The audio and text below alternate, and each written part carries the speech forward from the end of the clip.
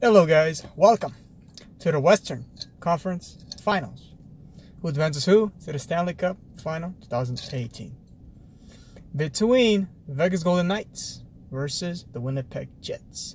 And off the series, Vegas Golden Knights record is 8-1-1. While the Winnipeg Jets are 8-3-1.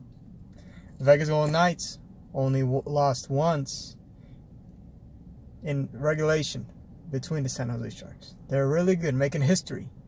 They be the first team to advance to the Stanley Cup. Nice. And win the first season. In the first season. Winnipeg Jets as well. First time actually going to the Western Yeah, but it's not their first season. yeah, it's not their first season, but this first time. Yes. So yeah. Me and Marcus, you're gonna predict who goes to the series finals for the Stanley Cup. Um, Winnipeg Jets our favorite minus 140 to advance, while Vegas Golden Knights are plus 120.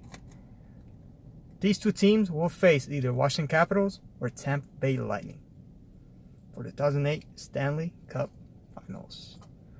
Um, for my prediction, I'm going to go with the uh, Vegas Golden Knights plus 120. I think they can handle, they can win, and advance for the first time in the history. We'll see what Mark Cajun says. Uh, I'm gonna go with the Golden Knights as well. I think they can. Uh, I think I think they can win it the whole thing. Um, so I think they will uh, go to the finals, and um, yeah, I think they, I think I think uh, Golden Knights are gonna be the first team to ever uh, win uh, the Stanley Cup in their first year.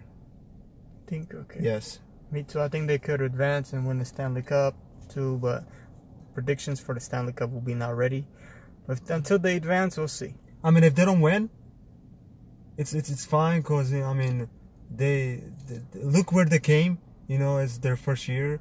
So if they if they win, that'd be amazing. So we'll see. Okay, we're both going on Vegas Golden Knights.